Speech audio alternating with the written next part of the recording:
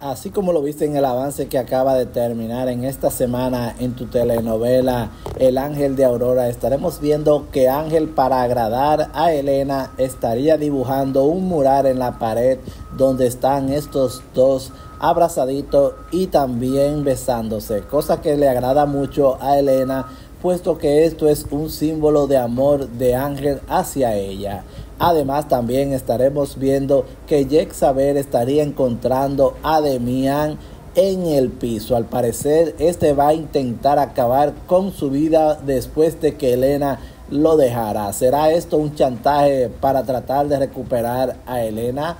Además también vemos que Saber se estaría reuniendo con el Pintas y esta le estaría pagando para acabar con la vida de Ángel. ¿Cree esta que con acabar con la vida de Ángel, Elena regresará a Demián? Además vemos que el Pinta está dudoso de hacer este trabajo ya que estaría diciendo que él va a acabar con la vida del que puede ser su hijo. Pero cuéntanos, ¿qué opinas tú sobre todo esto? Y mientras tanto te recomiendo que sigas disfrutando de tu telenovela El Ángel de Aurora de lunes a viernes por el canal de las estrellas.